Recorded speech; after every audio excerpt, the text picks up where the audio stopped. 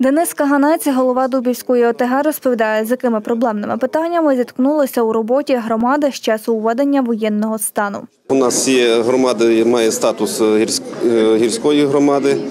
Це, звичайно, є е, і проблемою, але на нас дуже важливі е, лягли такі зусилля, що нас покладає держава. Тобто, це ми на даний момент при- при- приймаємо як релокований бізнес, е, а також щодо стосовно ВПО, тобто вимушено переміщених осіб, яких е, ми розміщаємо в наших е, комунальних закладах. Ми їх зараз е, доремонтовуємо. Вже багато у нас людей і розмістилося. Це біля 1500 осіб.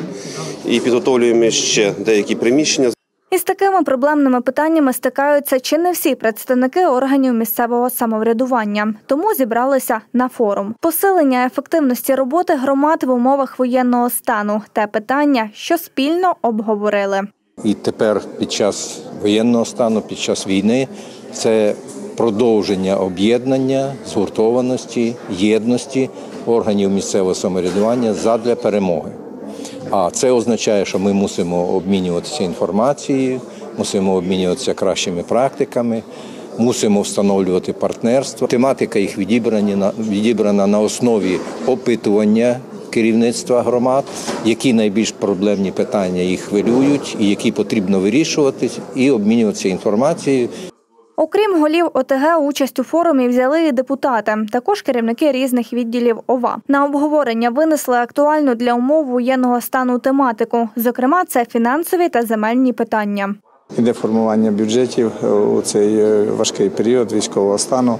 І, звичайно, є багато питань, які сьогодні для нас е, цей період, який важкий, який ми сьогодні е, переживаємо, е, і виконання бюджетів, і треба, щоб е, всі е, справи, які розпочаті, їх утримувати треба. Своїм досвідом роботи у воєнний час поділилися і запрошені гості форуму. Пані Наталія представляє Луганщину. В області функціонує 26 ОТГ, та всі вони наразі окуповані.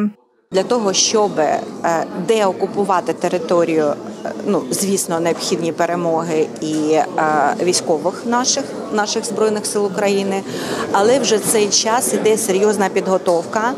Е, На місцевому рівні і на рівні органів місцевого самоврядування створюються військові адміністрації. Територіально вони знаходяться в різних куточках України. Ну, наприклад, Сєвєродонецька знаходиться у Дніпрі. Ну, наприклад, Попаснянська знаходиться в Кам'янському Дніпропетровської області.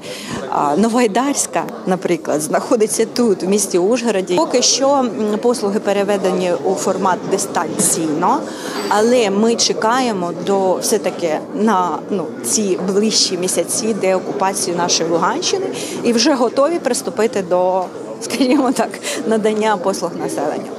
Обговорили під час форуму також питання налагодження транскордонної співпраці. Додамо, теми форуму формували після проведеного опитування серед голів ОТГ. Представники органів місцевого самоврядування сподіваються спільними зусиллями домогтися вирішення проблемних питань, з якими зустрічаються під час війни.